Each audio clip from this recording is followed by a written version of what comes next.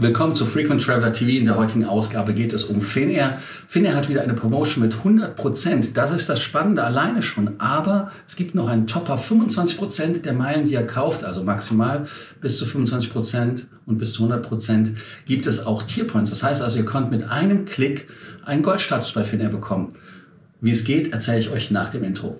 Geht los.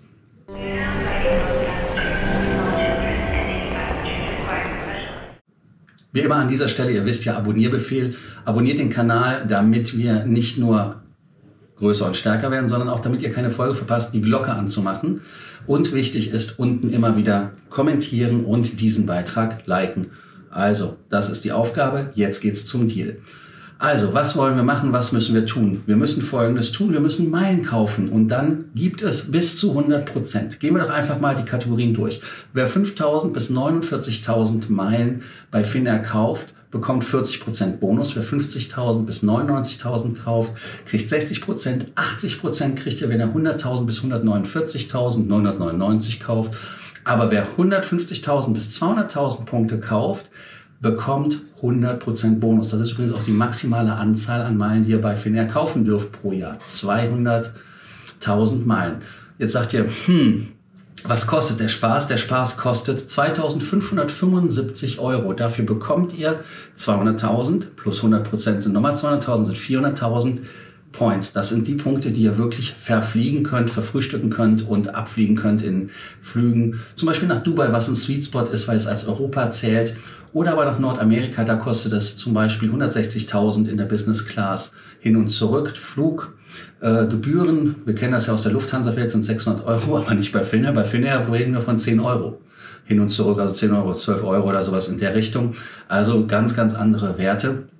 Und wenn man das mal ausrechnet, dass man mit 400.000 Punkten 2,5 Mal zum Beispiel nach Los Angeles fliegen kann oder Singapur, das ist doch top. Und wenn ihr dann überlegt, so ein Ticket kostet 3000 Euro.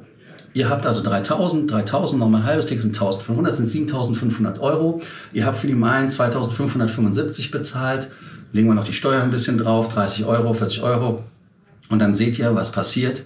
Ihr habt fast 5000 Euro, beziehungsweise sogar teilweise je nach Strecke mehr als 5000 Euro rausgeholt aus dem Investment, das 2500 Euro kostet. Und wir haben noch nicht mal die Vorteile der Goldkarte reingelegt. Die Vorteile der Gold Karte bei Finnair sind natürlich Loungezugang für zwei Personen.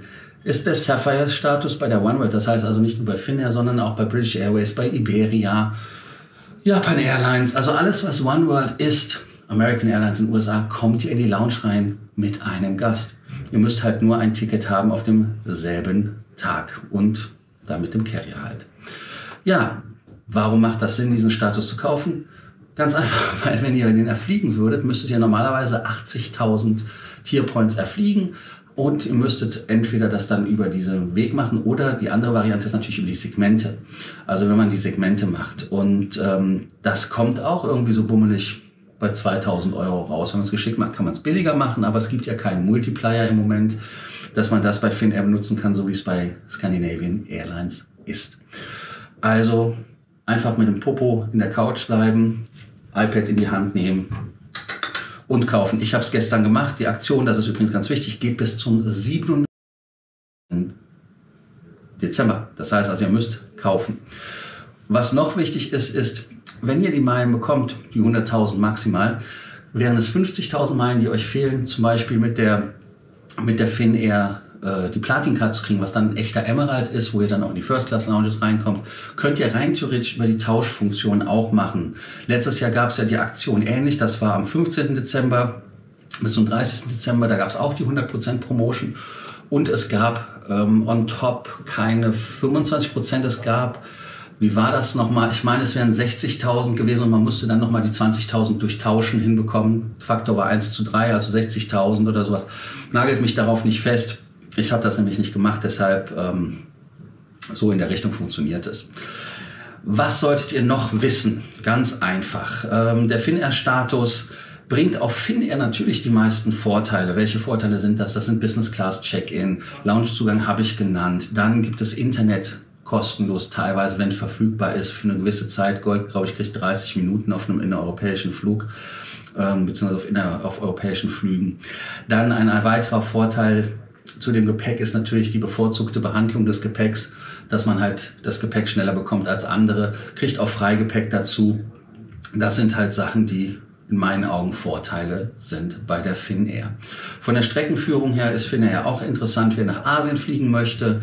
Heißt also, ich fliege von Deutschland erstmal nach Helsinki. Übrigens interessant, wer in die Lounge geht. In Helsinki gibt es in der Lounge meines Wissens nach die einzige Sauna weltweit in der Lounge, wo man ja vor der Reise nochmal schön schwitzen kann. Also da ein bisschen Zeit einplanen. Habe ich irgendwas vergessen? Ich würde nochmal jetzt die Award-Charts einblenden, dass ihr das seht, was es gibt. Zum Beispiel, äh, was die Routen an Meilen kosten. Innereuropäisch zum Beispiel. In Nordeuropa ist es am billigsten in der Business Class mit 12.500 Meilen. One-Ways sind jeweils ähm, immer die Hälfte, also wäre ein Return das Doppelte, wären 25.000. Oder aber dann, was für mich eigentlich das Spannendere ist, und das ist ja das, was ich gesagt habe, sind Flüge nach Amerika oder nach Asien. Da kann man natürlich auch Economy Class als Return kaufen, das sind dann 90.000 oder One Way 45.000. In der Business Class 160.000 oder 80.000 für den One Way. Das wäre also in meinen Augen so was Spannendes. Vom Produkt her, das Hard-Produkt her in der Business Class ist rustikal. Also ist jetzt nicht unbedingt etwas, wo man sagt, das ist luxuriös, die haben da irgendetwas, ähm, so wie Emirates, Top of the Pop oder sowas. Ist aber ein solides skandinavisches Produkt. Ich sage jetzt einfach mal ganz provokativ, wer bei Ikea Möbel kauft, fühlt sich bei Finnair auch wohl. Also ist dieses skandinavische Design mit Marimekko zusammen, gibt es ja die Kissen und so weiter. Und sie haben auch für Januar jetzt geteased, dass es eine neue Business Class gibt. Ich weiß nicht, ob ihr das von Twitter gesehen habt. Da haben die ja so einen kleinen Teaser gemacht, wo man nichts gesehen hat, aber es wird so Großes passieren und so weiter und so fort. Also sowas in der Richtung. Das Business Class Produkt wird wahrscheinlich nochmal aufgepeppt. Sie kriegen ja auch nochmal 350er von Airbus geliefert. Wichtige Frage, wie lange ist der Status gültig? Der Status ist immer ein Jahr gültig, also zwölf Monate plus den Rest des Monats, die man dann noch hat. Ansonsten an dieser Stelle hoffe ich, ich habe alles gesagt.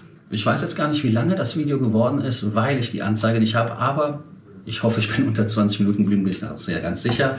Also insofern vergesst nicht, den Beitrag nicht nur zu liken, sondern auch zu kommentieren. Abonnierbefehl am Ende und dann ganz, ganz wichtig, Glocke an, damit ihr keine Folge von uns verpasst aus der Welt der Meilenpunkte und des Status, weil da wollt ihr ja immer informiert bleiben. Also, bis dann. Ciao.